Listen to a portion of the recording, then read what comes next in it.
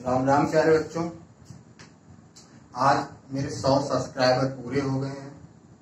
और 100 सब्सक्राइबर कराने के लिए मैं आप सबको बहुत बहुत धन्यवाद देता हूँ और मैं आपका सदा आभारी रहूँगा। चलो, आज तो हम फिर पढ़ते हैं। आज हम लोग भिन्न को पढ़ेंगे, ठीक है? तो देखेंगे भिन्न बराबर होता क्या है? भिन्न बराबर क्या होता है? देखो बस इतना से याद रखो, भिन्न है, भिन्न के दो रखे हैं, एक का नाम है अंश और दूसरे का नाम है हर। अब अंश बड़ा है तो रहेगा ऊपर और हर है छोटा तो रहेगा नीचे। अंश के दो रखे हैं, एक का नाम क्या है? अंश और दूसरे का नाम क्या है? हर। तो जो अंश है वो ऊपर रहेगा और जो हर है वो कहाँ रहेगा? नीचे। और ये जो लाइन है, इसको क्या कहते हैं? इसको कहते हैं बटे। क्या कहते हैं इसको? बटे। ठीक है? तो क्या पढ़ा जाता है? भिन्न बराबर होता है, अंश बटे हर। भिन्न बराबर क्या होता है? अंश बटे हर। तो बस इतना याद रखना कि जो भिन्न है, उसके दो रखें, एक का नाम अंश और एक का नाम हर है। अंश रहता है ऊपर और हर रहता है नीचे। तो भिन्न बराबर होता है अंश बटे हर। तो चलो इसके सवाल लगाते हैं एकदम फटाफट। चार बटे पाँच प्लस छ बटे पाँच। जब हर बराबर हो जब हर बराबर जब हर बराबर होते हैं तो कुछ नहीं करते हैं, सिर्फ़ अंश जो है उनको जोड़ दिया जाता है। अब अंश क्या है? चार है और छ चार और छ कितना होता है? दस। जब अंश बराबर है, दोनों पाँच पाँच है तो सिर्फ़ एक बार लिख दो पाँच। जब हर बराबर हो तो अंश को जोड़ दिया जाता है हर को सिर्फ़ एक बार लिखा जाता है। तीन बट्टा चार प्लस पाँच बट्टा चार। अब फिर देखो भाई, ये दोनों में क्या है? हर बराबर है। जब हर बराबर होता है तो अंश को जोड़ दिया जाता है। तीन और पाँच कितना होता है? आठ। आठ बटा चार। चलो एक और देखते हैं जल्दी से। एक, दो और तीन। बीस बट्टा पचास प्लस साठ बट्टा पचास। फिर याद रखो भाई, ये दोनों के बट्टे सेम है। देखो, इसका भी हर पचास और इसका भी हर पचास है। तो ऊपर वाली संख्या को डायरेक्ट जोड़ दो एकदम। बीस और बीस और साठ कितना होता? अस्सी। अस्सी बटे पचास। अब दिख रहा है कि दोनों में क्या है? ज़ीरो ज़ीरो, एक ऊपर ज़ीरो, एक नीचे ज़ीरो, ऊपर नीचे ज़ीरो होते हैं, कट जाएँगे। क्या बचा? आठ बटे पाँच। ये आपको समझ में आ गया होगा। अब तो सेकंड टाइप सीखते हैं, जल्दी से।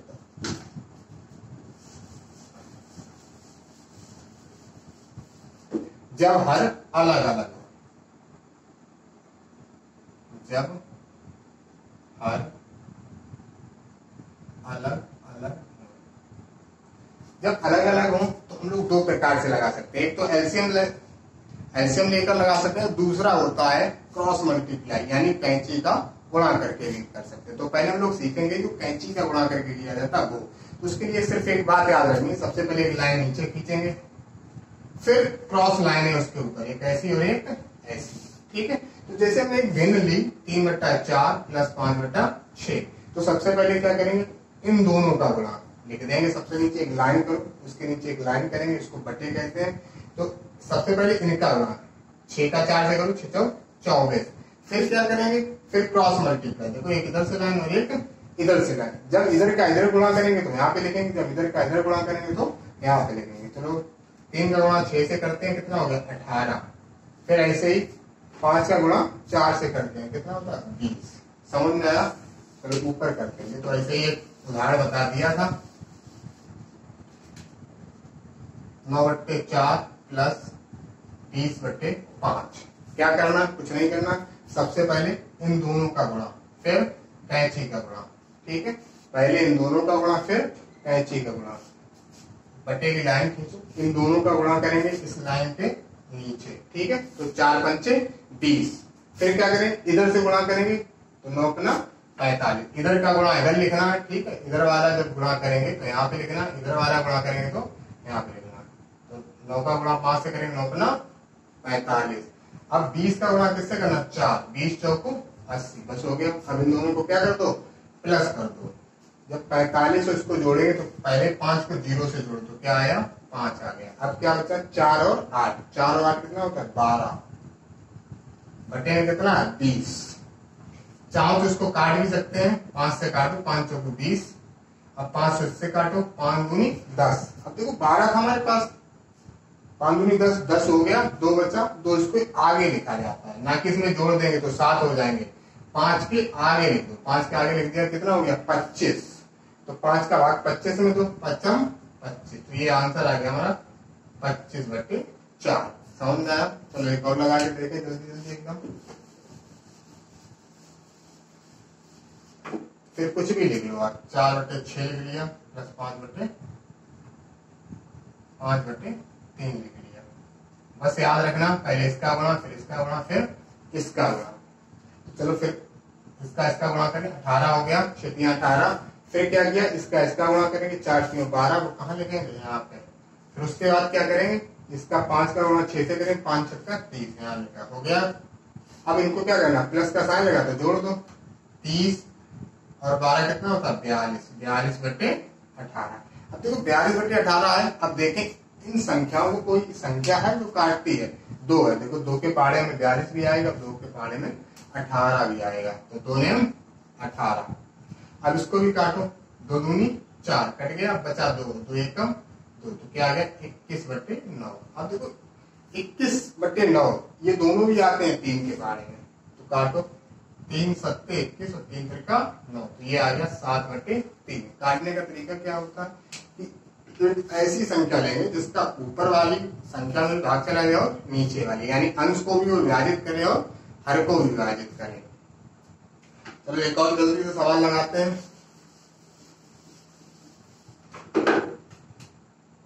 छह बटे सात प्लस बारह बटे तीन। फिर वही करना, क्या करना है? क्रॉस पहले सबसे पहले एक ऐसी लाइन यानी इसका इसका गुणा, फिर क्रॉस ठीक है? क्रॉस लाइन करनी फिर वही करना, पहले इसका इसका गुणा, कितना आएगा? सात तीन, इक्कीस। अब क्या करना छह का गुणा इससे करना याद रखना, इधर से ही करना, छह का गुणा तीन से करोगे, छह, तीन, अठारह होता है। अब बारह का गुणा सात से करेंगे। तो बारह गुणा जब सात करेंगे तो बारह सत। बारह सत्ते पाँच बहत्तर बारह सत्ते चौरासी। कितना आ गया? चौरासी। ठीक है, अब इनको प्लस कर देंगे। पहले इसको इसको, इकाई इकाई का अंक प्लस किया तो फिर ढाई ढाई का। आठ और चार कितना होता है? बारह। हासिल एक, फिर उसके बाद एक और आठ कितना होता है? नौ और एक हासिल दो। ठीक है, दस हो गया, एक सौ दो। बटे कितना आया? इक्कीस। अब देखो, एक सौ दो और इक्कीस है। अभी हम देखेंगे ऊपर वाली संख्या विभाजित हो रही है कि नहीं हो रही किसी संख्या से। नीचे वाली दोनों एक ही संख्या विभाजित हो रही है कि नहीं हो रही तो इनका योग देखेंगे, देखो। एक और दो कितना होता है? तीन। जो संख्या जिनका योग तीन से विभाजित हो जाता है, वो संख्या भी तीन से विभाजित हो जाएगी। इसका भी योग देखो, इसका भी तीन आएगा इसका मतलब ये तीन से विभाजित होगी। विभाजित करो। तीन त्रिका नौ। एक बचा, अभी इसके आगे लगा देंगे। बारह हो गया, ठीक है? तो तीन चौकू, बारह। ठीक है? अब ऐसे तू काटो। तीन सत्ते, इक्कीस। कितना आ गया?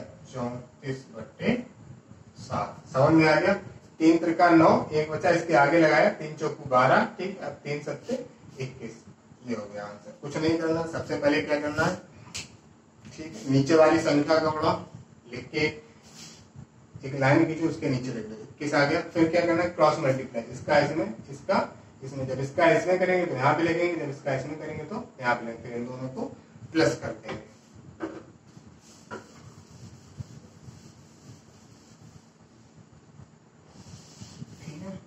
अब यही सवाल हम लोग एल्सियम लेके हल करेंगे। कैसे? एल्सियम लेकर। जैसे देखो, चार बट्टा नौ प्लस पाँच बटे बारह। ठीक है? एक तो क्रॉस मल्टीप्लाई से हो जाता है, यानी क्रॉस का गुणा करें, एक दूसरे का गुणा करके हो जाता है, और एक होता है सीधे एल्सियम लेके। तो नौ और बारह का एल्सियम ले लो। ठीक है? एल्सियम लेना ना आता हो तो अगले वीडियो में एल्सियम ही आपको सिखा देंगे। देखो, नौ और कितना है? बारह है। सबसे पहले क्या करते हैं? छोटी संख्या से काटना स्टार्ट करते हैं। अब देखो, दो से नौ तो नहीं कटेगा, लेकिन बारह तो कट रहा है। तो बारह काटो। तो नौ वैसे लिख दो तो दो छन बारह। फिर दो से काटो, नौ नहीं कटेगा, लेकिन दो तीन छह। अब देखो, दोनों तीन से कट जाएँगे। तीन प्रकार नौ तीन एकम तीन और तीन एकम तीन। कट गया? ठीक है। एलसीएम लिया किया जाता है जिससे कट जाए, उनका क्या कर लो? मल्टीप्लाई कर लो। दो दूनी, चार। चार तीन, बारह। बारह का गुणा इससे करो? बारह तीन, छत्तीस। हमारा एलसीएम आ गया छत्तीस। अब इसके लिए सिर्फ़ एक बात याद रखनी है, ठीक है? एक कहावत बनाई, उसको याद रखना है आप लोगों को। याद रखना, हर हर भागा हर भागा। गुणा ने अंश को टांगा। ठीक, टांगा मतलब लटका दिया। अब तो क्या लिखा हर भागा गुणा ने अंश को टांगा। तो इसका मतलब क्या है कि हर से हम लोगों को भाग देना है। हर से हमें क्या देना है? भाग देना है। और गुणा किससे करना है? अंश से। किससे करना है? अंश से। हर से भाग देना गुणा करना है अंश से। अब कैसे? हर से भाग देना इस वाली संख्या में, ठीक है? अब जैसे बारह का भाग देंगे हम लोग छत्तीस में तो बारह तिया छत्तीस कितनी बार गया? तीन बार गया। अब तीन का क्या करना? देखो क्या लिखा है।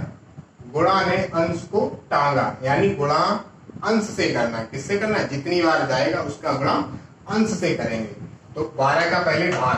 पहले देखो, हर भाग। हर भागा हर भागा मतलब क्या है? हर भाग। तो हर का हर में देंगे, हर से देंगे इसमें भाग। ठीक है? तो बारह, तीन, छत्तीस। कितनी बार गया तीन। अब जो तीन आया, उसमें अंश से क्या कर देंगे? गुणा। तो बारह, तीन, छत्तीस। तीन बार गया, तीन का अंश से गुणा कर देंगे। ठीक है? तो पाँच, तीन, पंद्रह, प्लस अब नौ का भाग दो इससे। का भाग देना है तो नौ का भाग इसमें दो तो नौ दूनी अठारह, नौ तीन सत्ताईस, नौ चौक छत्तीस। कितनी बार गया? चार बार गया। अब चार का किससे गुणा कर दें अंश से। समझ में आया? चार चौकू सोलह। अब इतना क्या लिखा है? हर भागा गुणा ने अंश को टांगा। तो इसका मतलब हर से हमको देना है भाग, ठीक है? हर से देना भाग। और गुणा करना है अंश में, ठीक है? पहले भाग, फिर गुणा। पहले भाग, फिर गुणा। देखो, पहले बारह का भाग दिया हमने, छत्तीस में। तीन बार गया, अब जो गया, उसका अंत से गुणा। ऊपर गुणा कर दिया, ठीक है? तो पाँच पंद्रह आ गया। ऐसे ही नौ का पहले देंगे भाग। नौ का भाग किसमें दिया? छत्तीस में। कितनी बार गए चार बार। अब चार का किससे गुणा कर देंगे? ऊपर वाली संख्या, यानी अंश से। समझ में आ रहा? ठीक है। तो चार चौको सोलह हो गया, पाँच तीन पंद्रह हो गया। अब इसको प्लस कर लो। कितना होता है? पहले इसको और फिर इसको पाँच और छह होता है ग्यारह। हासिल एक, ठीक है? एक और एक, दो दो और तीन, ठीक है? बटे छत्तीस।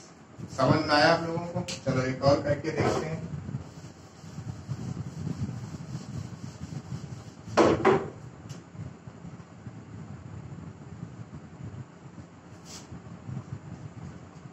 छोटे छोटे सवाल है, लेकिन बहुत सारे बच्चे नहीं कर पाते हैं तो आप लोग सीख के कोई भी सवाल है, आप उसको हल कर सकते हो। सरल विधि है इसमें कुछ नहीं याद करना है, सिर्फ़ क्या याद रखना है कि हम लोग सबसे पहले क्या करेंगे? इनका क्या लेंगे? लासा, यानी एलसीएम लेंगे, ठीक है?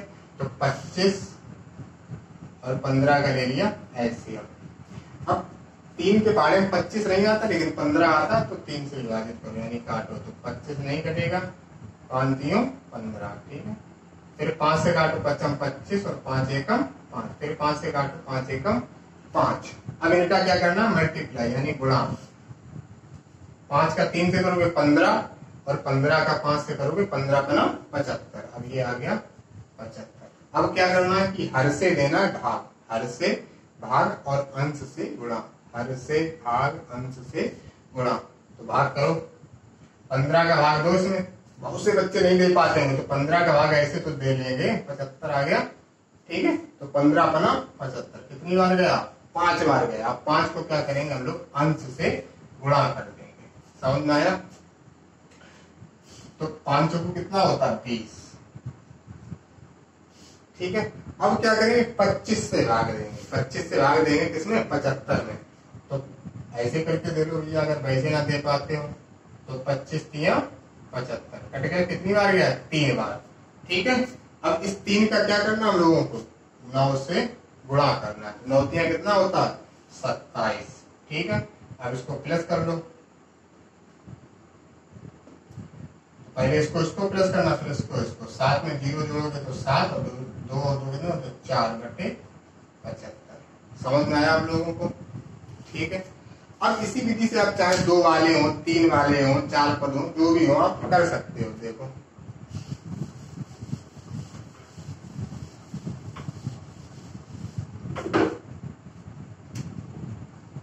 तीन बट्टा चार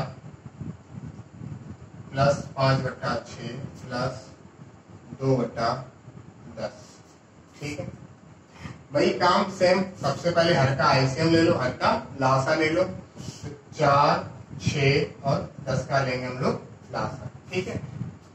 दो से काटो, दो दूनी चार, दो तीन छह दो पंच दस। फिर दो से काटो, दो एकम दो तीन कटेगा नहीं, पाँच कटेगा नहीं। फिर तीन से काटो, तीन एकम तीन, पाँच कटेगा नहीं, फिर पाँच से काटो। फिर इनका क्या करना है? गुणा करना है। तो करो।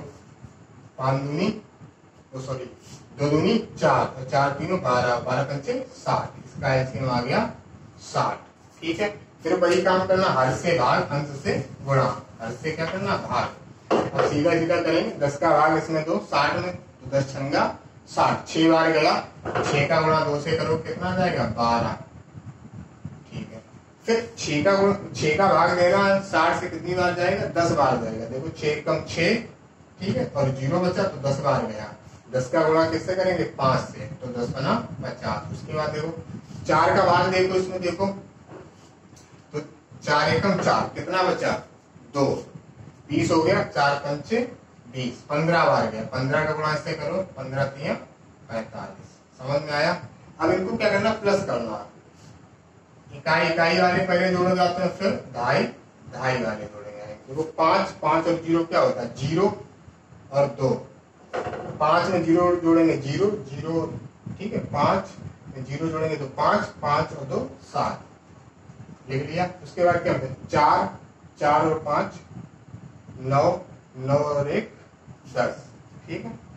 तो ये आ गया एक सौ सात बटे साठ। और प्लस तो आपको करना आता ही होगा। प्लस करने में कोई दिक्कत नहीं होती ठीक है? बस इतना याद रखना इकाई इकाई जोड़ना ढाई ढाई जोड़ना। देखो पाँच पाँच में ज़ीरो जोड़ेंगे तो पाँच आएगा। फिर दो और जोड़ लो कितना हो गया? सात। फिर क्या बचा? फिर इसको जोड़ना चार चार नौ नौ और एक दस। दस का पूरा दस लिखा बटे क्या सात। साठ ओके? अब अगर सही बटे वाले हो तो कैसे करेंगे? सारे सवाल ऐसे ही होंगे। सही बटा सही बटे वाले में भी कोई दिक्कत नहीं जैसे एक सही, एक बटा दो प्लस पाँच सही, एक बटा छ प्लस दो सही, तीन बटा चार। ठीक है? अभी छोटे छोटे रहे हैं, जिससे आप छोटे छोटे सीख जाएँगे तो बड़ा करना आराम से सीख सकते हैं। ठीक है? तो कुछ नहीं होता। क्या करेंगे? इनका घड़ा ऊपर प्लस। ठीक है? इनका क्या कर देंगे हम लोग गुणा और ऊपर प्लस इनका गुणा ऊपर प्लस याद रखो। ठीक है? दो एकम दो दो एक तीन। तीन बटा दो प्लस फिर इसमें करो पाँच का तीस तीस और एक इकतीस। इकतीस बटे छ प्लस ऐसे इसमें करो चार दूनी आठ। आठ तीन ग्यारह। तो ग्यारह बटे चार। ठीक है? ये तो हमने तुम्हें सिर्फ़ ऐसे ही बता दिया इससे समझ में आए। ठीक है? अब फिर वही काम है। क्या करना? एलसीएम लेना है। ठीक है? तो इसका एलसीएम आ जाएगा बारह। बताया कि कैसे लिया जाता, वैसे ही लेना। ठीक है? तो फिर क्या करना? चार का इसमें क्या देना? भाग। तो चार का भाग दो। तो चार का भाग इसमें दोगे, तीन बार जाएगा। तीन का क्या करना? ऊपर वाली संख्या से गुणा तो ग्यारह, तीन तैतीस ऐसे इसमें करो छह का भाग देना है। बारह। तो छिदनी बारह, दो बार गया। दो का गुणा इकतीस से करना है। तो कितना आता? बासठ। ठीक है? इकतीस दूनी होता। बासठ ऐसे ही दो का भाग देना किसमें? बारह, दो का भाग दो दो तीन। दो का भाग बारह, दो दो छंद बारह। कितनी बार गया? छह बार गया। तो छह का तीन से गुणा तो छक अठारह। अब जोड़ दो।